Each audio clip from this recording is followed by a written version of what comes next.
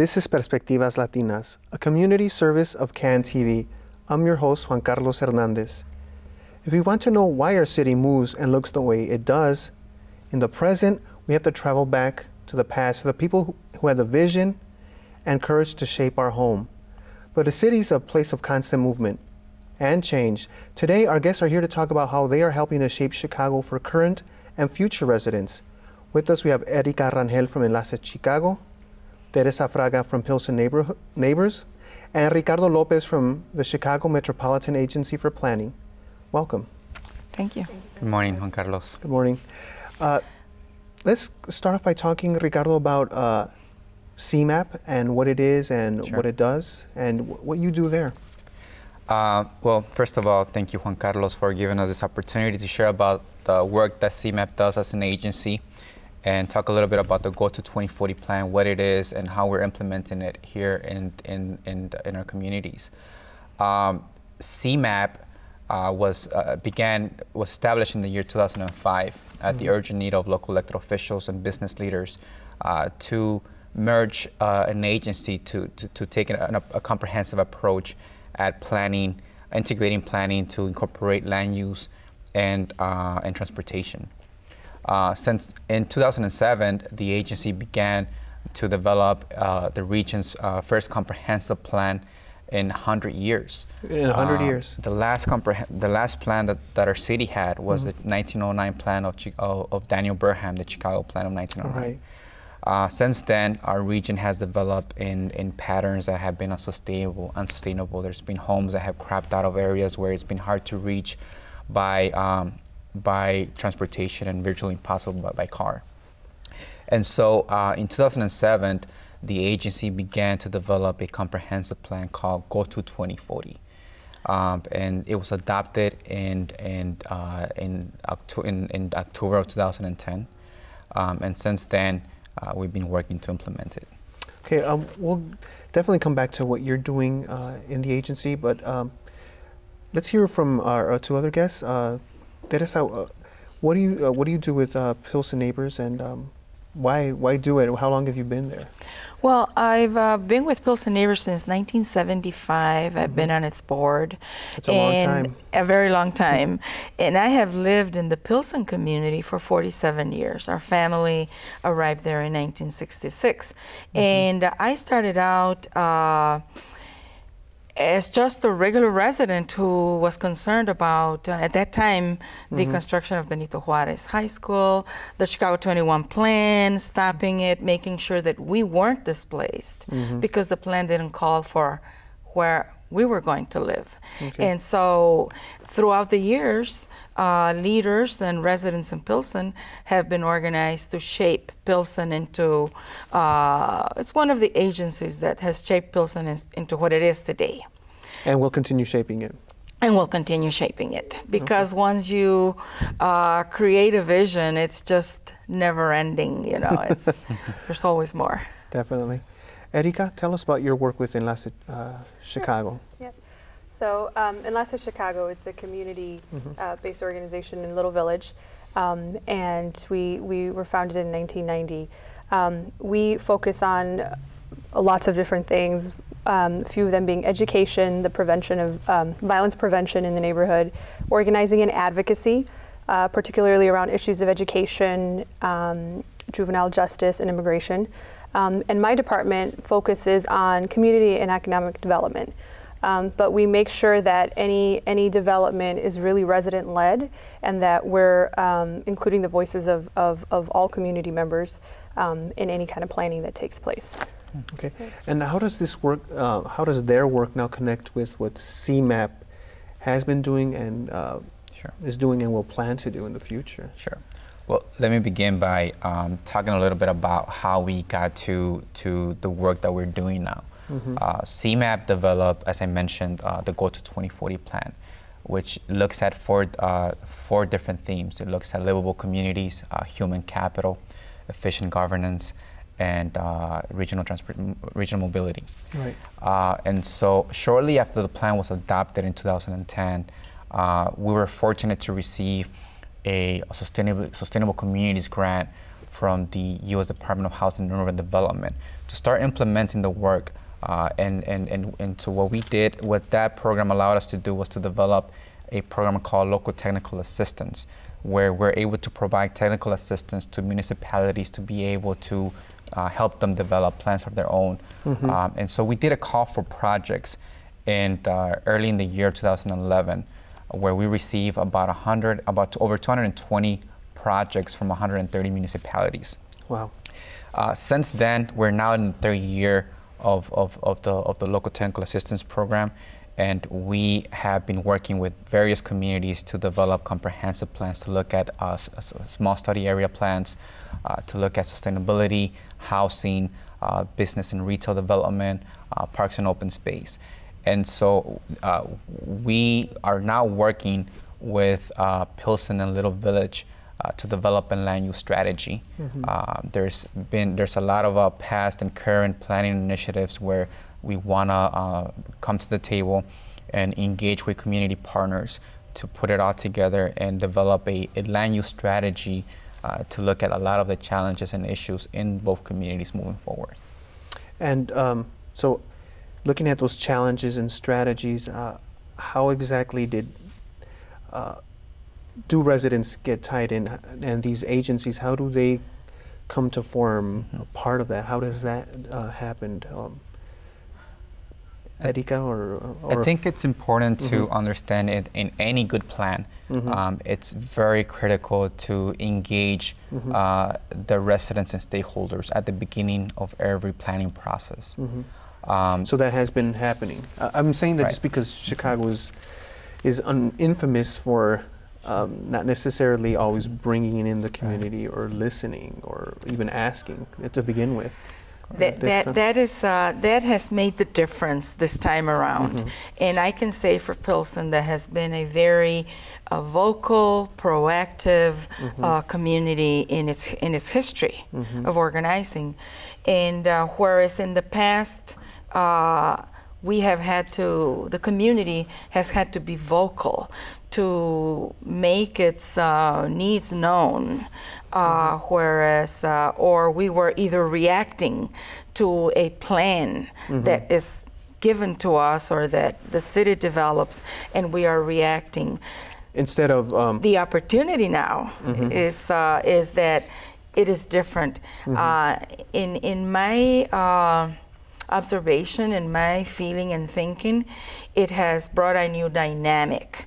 This, this is a, what we consider, or what I consider, a true partnership, where we are able to sit down with uh, CMAP, with mm-hmm. Department of Planning and Development, and with the residents, voicing their ideas, mm-hmm. their concerns, their needs, uh, this has brought us at a table together in a community public setting where they are listening to mm-hmm. whatever is brought up to the table.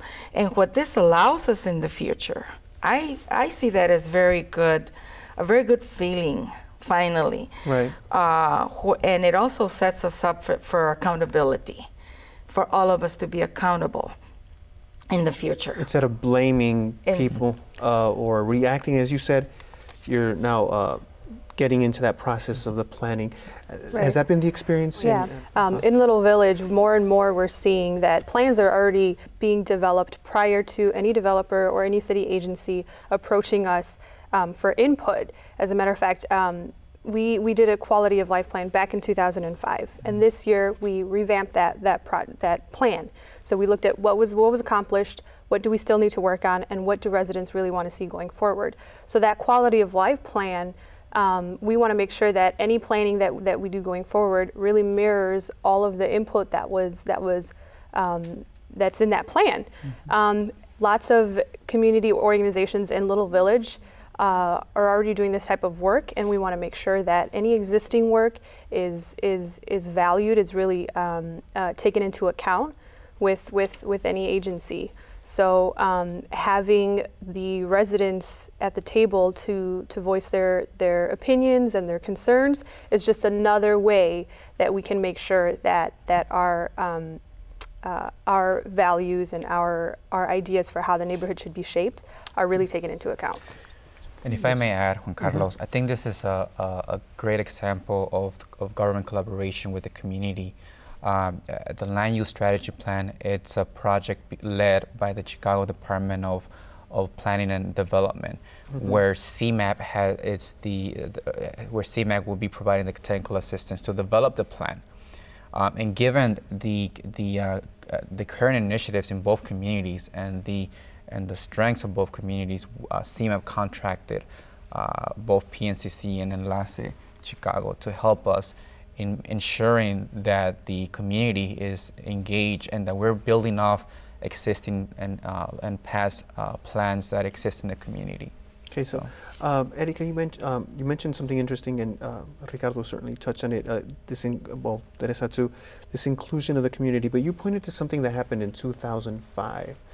Um, that was the gathering of residents, right? It didn't matter whether they were undocumented or documented, because you know in um, our community there is that issue.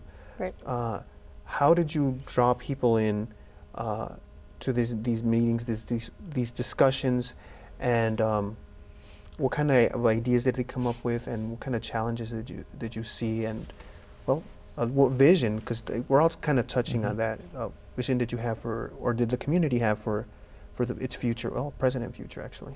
Right. Um, and I can't really speak as much to the 2005 plan as I can to the 2013 plan because it's the most recent in my head. Um, and why the changes? Why why was it? Uh, had, why did it have to be tweaked? So really, it was a five-year plan. Okay. Um, so what we wanted to do was make sure that it wasn't just sitting in you know a drawer, dust drawer somewhere, and that we were actually using it to guide our work, um, but also to revisit because because like we said, we you've said, communities change, needs change, um, and we wanted to make sure that um, that we went back, revisited the plan, um, to assure that any planning going forward um, is is up to date. Um, so what we did was we invited this year we invited um, uh, over 500 community residents to different assemblies, um, community organizations. Anybody that lived in Little Village, works in Little Village, has some kind of stake in the community, was invited to participate. And um, they're really invited to be there to have their, their voices heard. So if they had a vision for what the community should look like, they should be at the table and they should really um, make sure that, that um, their, their ideas are, are, are, are put in the plan. So really that's, that's, that's how the process worked. Any, Okay. any you, you could split up into um, groups depending on your, your specific interests and really give good um, feedback on what you, what you thought the 2005 plan um, could have done a little better and also what you would like to see going forward. So um, the, the plan actually came up with a bunch of strategies around um, housing, uh, green space and recreation, open space, um, economic development, um, immigration issues, health. So it really touched on a lot of different issues.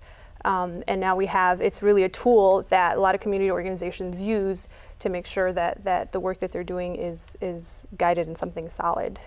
Definitely. And did something similar happen Yes. in Little Village? I mean, Uh, I'm sorry, in Pilsen. Yes, in Pilsen, the, something similar, the same strategies. It's the quality of life plan.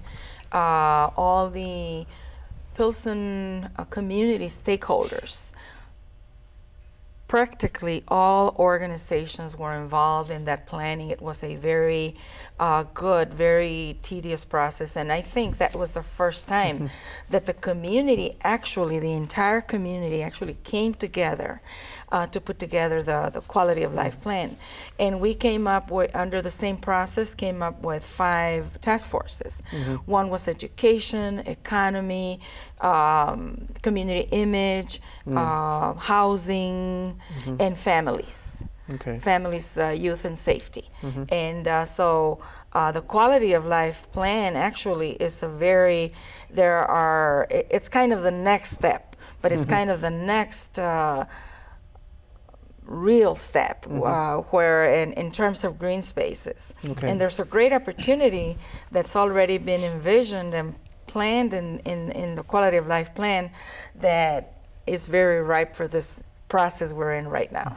Definitely. So now these these ideas are coming forward, um, in some sense, independently of what CMAP is doing, but joining in with Right. what what your uh, what this agency has um, planned. Sure. Mhm. So both uh, communities, uh, Pilsen and Little Village, have quality of life plans, which essentially are a vision of the community.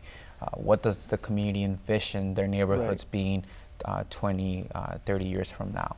And so what uh, th- the land use strategy plan uh, aims at doing is bringing those visions and, and integrating them into a land, a land use strategy plan uh, that will event- essentially be adopted by the city's planning commission Mhm. uh, to implement. Um, and as Ms. Fraga mentioned, uh, a plan that will look at some of the uh, common challenges in both communities, uh, such as improving and expanding access to parks and open spaces, Hu- uh, a huge need, definitely. right, promoting business and retail development, but Mhm. also exploring uh, and ha- uh, exploring housing options Mhm. uh, that can meet the needs of residents of various residents. Both communities, um, uh, while they have similar uh, similarities, they share different uh, history. Mhm. They are uh, culture, uh, assets, and challenges. And so the idea is to look at those and how do we integrate them to develop to promote quality of life for for its residents. So you touched on that, and I think that's been especially one of the most salient issues, um, and it, it still remains one of the most salient issues in our city is housing. Uh, how is CMAP working with uh, these two communities Mhm. to um, develop housing and uh, that is inclusive? Um, Sure.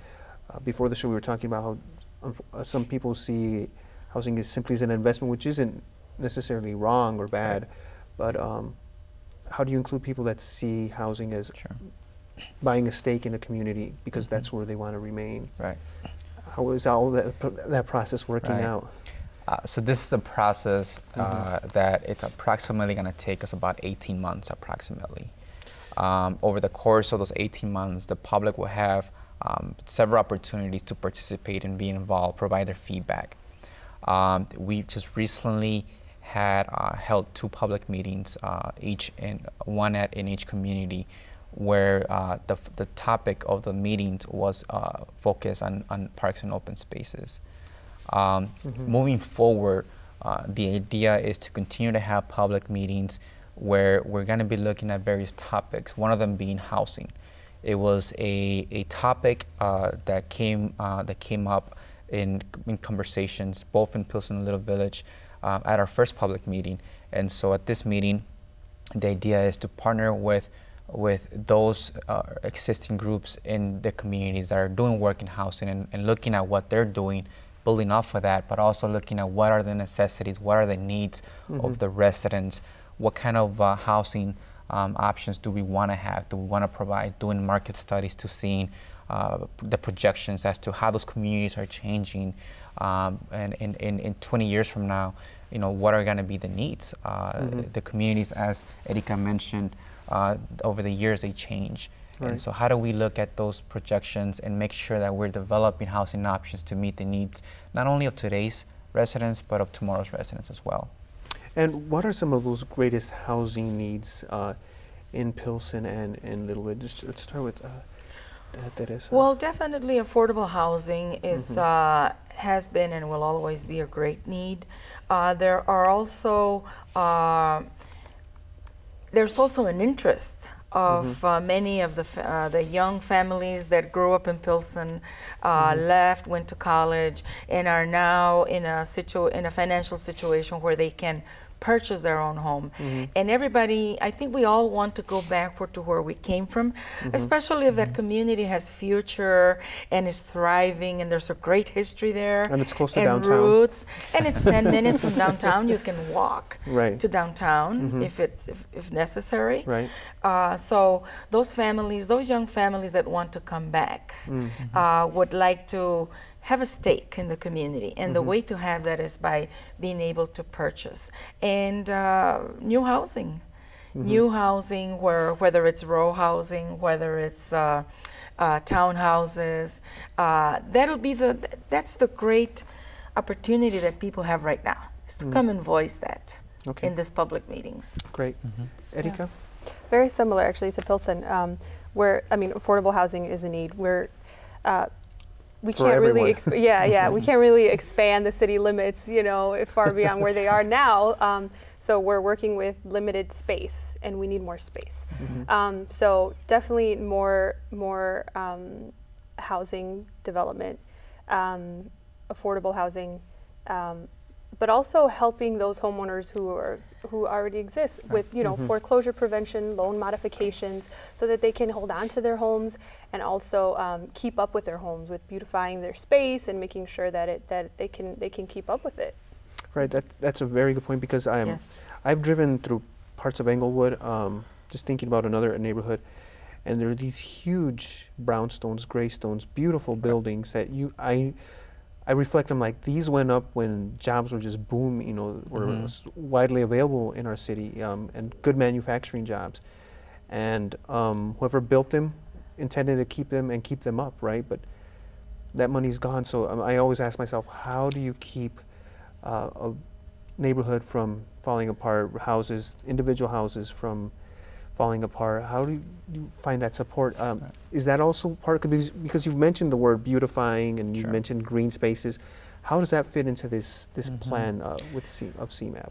The land use strategy plan would Mhm. uh, entail three different phases. Uh, Mhm. the first phase is uh, engaging stakeholders, doing key stakeholder interviews with some of the uh, key players in the communities, uh, gathering, gathering data, looking at maps, uh, Mhm. studying previous plans as the quality of life plans, Mhm. um, and, and, and getting an idea to, of what are the existing conditions in Mhm. both neighborhoods. What do we have to work with? Uh, the second phase would then look at uh, of, of, of, of opportunities, uh, recommendation ideas, where um, to, where, where we develop ideas to meet those needs. I think in terms of housing, um, uh, looking at, at, at some of these housing stocks that are historical, that are also uh, beautiful, that are great Mhm. structures, and how do we revitalize them? Um, we live in an urban, in, in an urbanized uh, city where uh, lack of, of space it's uh, it's an issue. So how do we S- make Especially good in, use, in right? areas like Pilsen and Little Mhm. Village. So how do we make good use of of underutilized and vacant uh, spaces in our neighborhoods? Mhm. Uh, and so th- I would say that would be uh, we, that's how the plan looks at at, at, at targeting housing as one of the, one of the topics. Uh, another issue, and I think it's a bigger issue for um, uh, Little Village than it is for Pilsen, is transportation, right? Public transportation. Um, how is how are you working with CMAP or and within the community to to address some of uh, some of those issues, that issue specifically? Well, um, there are a number of organizations in Little Village that are do, that do a lot of work with Mhm. making sure that we have um, that public transportation needs are being met, um, and that that um, any opportunities or any any new uh, public transportation options are um, not just available, but have the resources behind them to keep them consistent and keep them operating.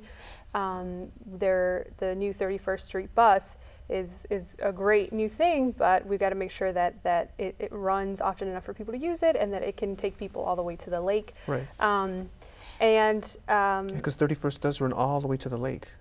right, there's Mhm, a like, there's a little you know you got to make a little turn, but Yeah, um, but bu- yeah, yeah. once you enter uh, McKinley Park, right, around that area. Arou- well, right around Western. It, Oh, yeah, that's know, right, right around Western. Dead ends, and you have to Mm. go into yeah, go a little further south. Right. um, but it picks back up again. Um, yeah, but uh, there's also, I mean, there's other um, creative ways that Mhm. we're trying to make sure that that we can connect residents from all corners of Little Village to existing open spaces, and um, with this CMAP project. Where we we wanted we those plans were presented to community members and community members really had input on how they could um, we could connect to open to existing spaces. Um, and also taking into account where are there public i mean already routes of public transportation so that we we make sure that um, they either align with those with those routes or um, we're aware of them so that we're not you know overcrowding a street. Mhm. um, as many bicyclists and pedestrians um, are you know need routes that that are safe Mhm. um, and and mindful of all the car traffic that we have. right. If I may add, I think transportation it's an it's a critical component. Um, when normally when we think of transportation, we think of the roads, we think of Right. the highways, we think of, of the public transportation, the bus, the trains, but sidewalks are also part of transportation. Sidewalks, um, and, and when we're talking about uh, livable communities, uh, you know, what are livable communities? They're healthy, they're safe, they're walkable. Uh, they provide efficient uh, options to get around to your daily needs, to work, to, to, to school, to your jobs.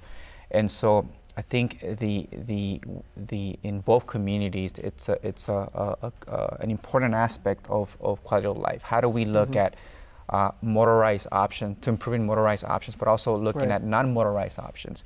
And one of the, the topics that we're looking that we're looking into, which was covered in this last public meeting, is uh, uh, open spaces and parks. Um, how do we integrate land use with trans- that supports transportation? Looking at uh, pedestrian and bicycle uh, trails, routes, Right. uh, to provide mobility. which is growing. Right. Parking. Parking, oh, yeah, Parking is a very, very, very big issue. it's awful in most places. uh, especially uh, in uh, in uh, in areas where multiple housing is being built, because uh, the developers are only required to provide one space, uh, but re- being realistic, there's two cars or more. or more, family. and so the, the existing residents take the brunt, take the hit, take Right, the hit, right, right. and so parking is is a big issue Definitely. all over. And how do we look at that issue? Um, you know, providing other options, right, for mobility, uh, where, uh, for instance, public transportation, we want to make sure that it's not the last option, but the first. But the, there's also other um, options for how to get around that promote uh, a health, healthier living lifestyles. Right. Uh, right now, it's, uh, the the com- communities don't have the infrastructure. Uh, the city's doing a lot of great work with with implementation of a bicycle network. Uh, how do we create the infrastructure to make sure that uh, we're not only uh, providing those options, but we're also making them safe? Okay, great. Um, we're basically out of time. Uh, well, but well, we are out of time actually. So thank you so much for coming today and sharing your ideas and the vision you have for these communities. It's very exciting, and um, I look for I look forward to seeing a, a lot of these projects take life. And I want to, before we leave, I want to encourage uh, there's uh, uh, residents, viewers, to get involved Sure, uh, in the planning of this of, of this development of this plan. That is crucial, Um, definitely. Anyone who's interested in more information or wants to get involved, they can visit the project website at uh, www.cmap.illinois, spelled out uh, forward slash LTA. That's a long name. but Uh, It's a long name. Uh, w- Uh, that, all of that information will be um, available through the program and Great. um, online. Thank you. Thanks Thank you so us. much. Thank you. Perspectivas Latinas is a community service of CAN TV. If your nonprofit organization would like to work with CAN TV, call 312 738 1400 and ask for nonprofit services. Tune into Perspectivas Latinas for local issues and concerns every Thursday at 8:30 p.m. on CAN TV 21. I'm Juan Carlos Hernandez. Thank you for joining us.